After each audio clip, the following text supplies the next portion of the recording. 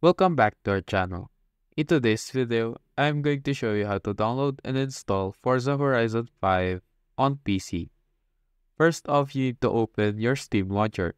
After opening the launcher, type Forza Horizon 5 in the search bar located at the top of the screen. Click on Forza Horizon 5. Click on Add to Cart, then View My Cart. Then continue to payment. You can get this game around $30. You will be redirected to the checkout page. Select your preferred payment method, then click Continue.